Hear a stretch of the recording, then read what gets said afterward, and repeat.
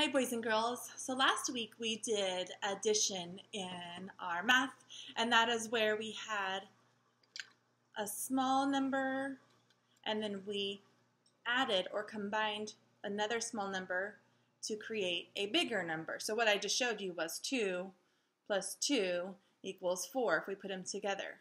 Now we're going to make our brain go backwards. We're going to reverse it, and we're going to start with the bigger number and then we're going to end up with a smaller number or a part of the whole number. So if I say I have four straws and then I gave three of them away to a friend, how many do I have left? So if I start with four and I take away one, two, three, how many do I have left? I have one.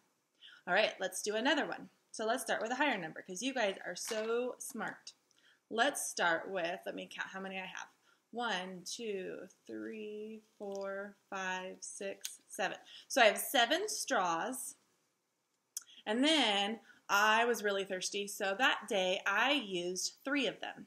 So I used one, two, three of them. How many do I have left? I have one, two, three, four. So we're going to say seven, take away three is four. All right, let's start with the same number. We're going to start with 7 again. And my friend needed 2 for her lemonade.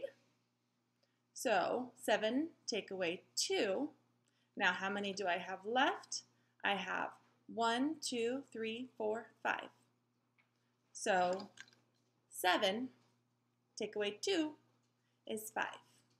All right, boys and girls, you're going to do this with your parents. You're going to use anything that you have at your house, anything that you can count. It can be straws, it can be candy, it can be um, anything that you can count that would work for you.